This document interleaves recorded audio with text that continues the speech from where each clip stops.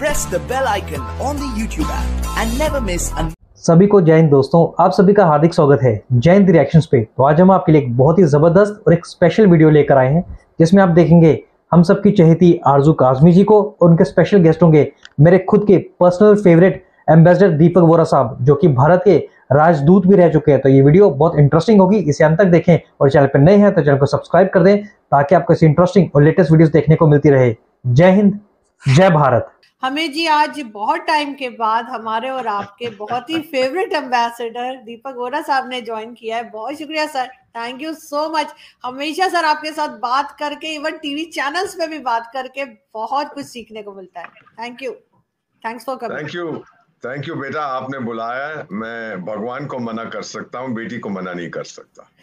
बहुत शुक्रिया sir sir सबसे पहले तो हम बात करेंगे पाकिस्तान की जिस तरह के आप देख रहे हैं यहाँ पे हालात हैं और पीटीएम जो पश्तून मोमेंट है उसके भी जल्द से हो रहे हैं लोगों को अरेस्ट भी किया जा रहा है। साथ साथ बाकी चीज़ें जिस तरीके से पाकिस्तान में गड़बड़ चल रही है इकोनॉमी को लेके लेकिन दस साल बाद पाकिस्तान और बाकी दुनिया को आप किस तरह से देखते हैं हम इन सब चीज़ों पर आज आपसे समझना चाहेंगे। तो सर सबसे पहले पाकिस्तान की अगर बात करें। बेटा मेरा बौद्ध धर्म से बहुत गहरा संबंध है और मैं देख रहा हूँ आपने पीछे भी एक मूर्ति रखी हुई है। आ, और भगवान बुद्ध ने कहा था कि तीन चीज़ें कभी छुप नहीं सकती चाँद सूरज और सच्चाई। और भारत का तो मोटो आप जानते हैं मुंडका उपनिषद से है सत्यमेव जयते हमेशा सत्य की जीत होती है। तो सबसे पहले एक डिस्क्लेमर अपनी तरफ़ से देना चाहता हूँ। बेटा आपसे अड़तालीस इस घंटे में चंद्रयान थ्री, चंद्रमा पर उतरेगा। There is no doubt it be a tremendous success अब कोई गति नहीं होगी। हमने सीख लिया। पिछली बार जो आखिरी एक या दो किलोमीटर में वो क्रैश कर गया था। दिस टाइम इट लैंड मुझे अमेरिका जाना था कल। आज 21 अगस्त है और मैं 22 अगस्त को जाने वाला था, पर लेकिन अब 23 को जा रहा हूँ, क्योंकि हमारी लैंडिंग अब से 48 घंटे 23 अगस्त 6 बजे आईएसटी होने वाली है और I be glued to my television set अब मैं क्यों जा रहा हूँ ये भी मैं बता देता हूँ ताकि आपके सारे व्यूअर्स को मालूम साल में मैं एक बार जाता हूँ for a medical evaluation not treatment मुझे एक बड़ी आ, अनोखी अफ्लिक्शन है। It's called Binswanger's disease आपने नाम नहीं सुना होगा। It's a slow destruction of the brain तो ये छह साल से I been suffering but my doctors in India who are the best in the world ये मैं सच्चाई आपके सामने बयान कर रहा हूँ। They have manage to control it Now, you can't reverse it, there is no medicine, but it can be managed through exercise, through treatment, etc. And whenever I go to America with my brain uh, images and so on, मुझे एक ही चीज कहते हैं that we are amazed at the Indian doctors. They are far superior to us. I say, well, there's no doubt about that. Our doctors are really very good. So, Vita, I'll be traveling and uh, of course I'll come back. Now, जो आपने सवाल पूछा इस समय पाकिस्तान की हालत क्या है इट्स अ विचेस ब्रू अंग्रेज़ी की एक कहावत है। And it's it's a tragic comic circus अब आपके एक प्राइम मिनिस्टर होते थे, जिन्हें मैं तोशा खान कहता हूँ।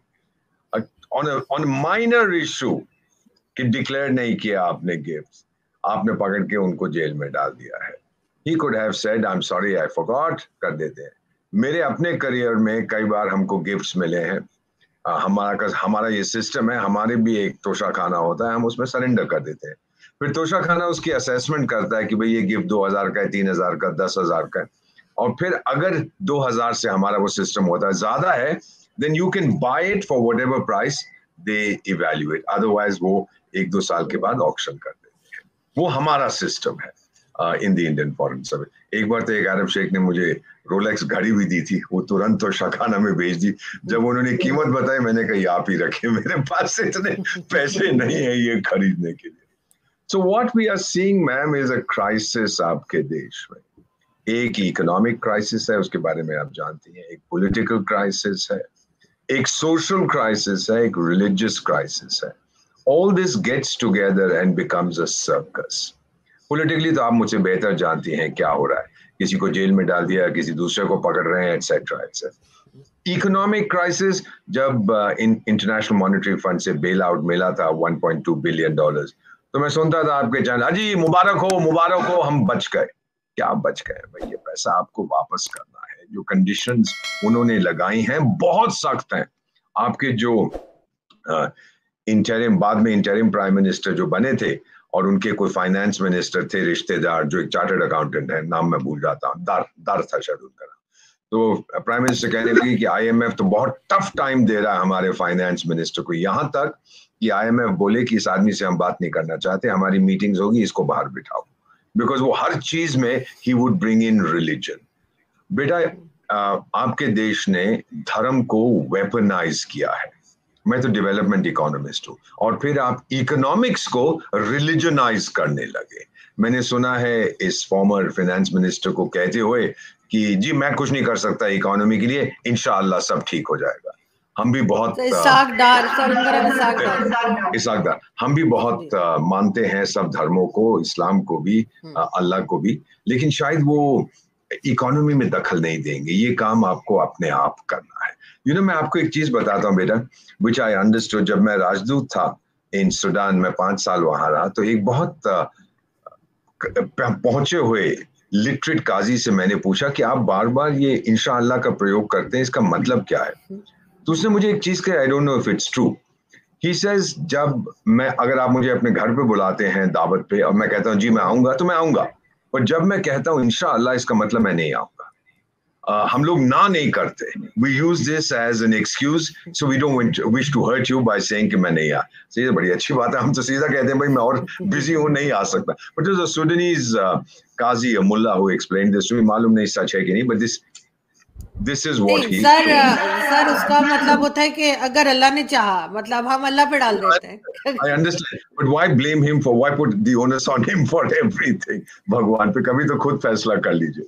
सेकंड जो जो इकोनॉमिक क्राइसिस है जिसको अभी हम देख रहे हैं ये इससे कुछ ज़्यादा होने वाला नहीं है। This is a band aid और मेन हम्म। चीज़ ये रहेगी कि आपकी एक्सपोर्ट्स और इम्पोर्ट्स में बहुत फ़र्क है।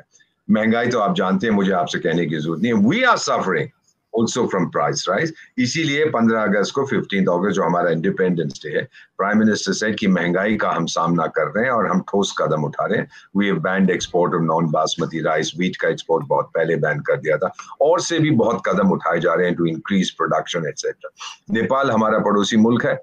अब वो हमसे बहुत कुछ गेहूँ मांग रहा है, ये मांग रहा है, वो मांग रहा है उसकी समस्या है। बहुत से ऐसे देश हैं जो हमसे चीज़ें मांग रहे हैं इस समय। वो we are the world second largest producer of food बेटा, आपको एक चीज़ बताता हूँ, आप तो मेरी बेटी की उम्र की है। Sixty six sixty seven Bharat में अकाल पड़ा था। बारिश नहीं हुई थी। Two years we were on the verge of famine Mrs Indira Gandhi America गई थी, अनाज मांगने। और एक अमेरिकन पेपर न्यूयॉर्क टाइम्स आपने उसका नाम सुना है, कहता है new Indian leader comes begging ऐसी चीज़ें नहीं कहते। And today we are the second largest producer of food in the world ये पंजाब के फार्मर्स यूपी के फार्मर्स साउथ के सब लोगों ने मिलके ये काम किया, किसी खास व्यक्ति अकेले ने नहीं किया। We were also told not to eat on Mondays आप शायद नहीं जानती भूख क्या होती है, मैं जानता हूँ, मुझसे पूछेगा। 104 दिन मैं भूखा सोया हूँ 1966 1967 में। माँ तो माँ होती है, मुझसे कहती थी कि दीपक खा ले। But my father would tell her इसको मत बोल, ये देश का बहुत दीवाना है, ये नहीं खाएगा। नाइस टू स्लीप हंग्री 104 दिन बेटा इट्स नॉट इजी जब पेट में चूहे कूदते थे तो आसान नहीं होता था उस टाइम पे। So what I am seeing is that agriculture which should है pillars of the Pakistani economy वो भी अब it's practically non existed because you keep milking a sector उसमें इन्वेस्टमेंट नहीं करोगे, वो कलेप्स कर जाएगा। फिर एनर्जी एनर्जी की शॉर्टेज ने आपकी इंडस्ट्रीज़ को क्रिपल कर दिया है। आप दौड़ गए थे चीनियों के पास, उन्होंने पाँच वो प्लांट्स बना दिए, वहाँ पर जिसे low hanging fruit of that con job total con job जिसे आप China Pakistan exploitation not exploitation economic corridor कहते हैं। वो बना दिए, इतने महँगे बनाए, जो दो जो पैसे वो ले रहे हैं पर यूनिट इतना महँगा। ये हमने देखा था एनरॉन ने भारत में भी बनाया था, हमारा पहला प्राइवेट सेक्टर प्रोड्यूसर था in the nineties American company और हमें बहुत बुरी तरह से ठगा। We had to cancel the contract और हमारा काफ़ी नुकसान हुआ था। Enron took us to court हम हार गए। हमको पैसे देने पड़े। जो कुछ होना था, हम भी सीख गए उसके साथ। बट देयर आफ्टर जो भी प्राइवेट प्रोड्यूसर्स आए इंडिपेंडेंट पावर प्रोड्यूसर्स हमने सही तरह से किया। So energy is one area you have to focus on फिर इतनी बड़ी फौज, मुझे ये नहीं मालूम आपको क्यों चाहिए। किससे दुश्मनी है? आप छह लाख हैं, सात लाख हैं, आठ लाख हैं, दस लाख हैं, किससे लड़ना चाहते हैं, इतना पैसा आप खर्च कर रहे हैं? मेरे पास तो एक तरफ़ चाइना है, दूसरी तरफ़ हमारे संबंध आपके साथ वैसे नहीं है जैसे होने चाहिए थे सो आई नीड माई मिलिट्री अब मैं ये भी सुनता हूँ आपके चैनल पे, ओ जी, भारत ने तीन करोड़ की फौज रखी हुई है श्रीनगर में, और टाइगर अगर तीन करोड़ की फौज मेरे पास होती तो अभी तक दुनिया पे मैं हुकूमत करता। But this kind of nonsense we hear तो एक तो down sizing of the military और फाइनली चीज़ मैं ये कहूँगा मैम आपका एजुकेशन सिस्टम उसको बदलना पड़ेगा। जब मेरा मैन्युफैक्चर हुआ था भारत में इन 1951 हमारे पास 500 कॉलेज और यूनिवर्सिटीज थे।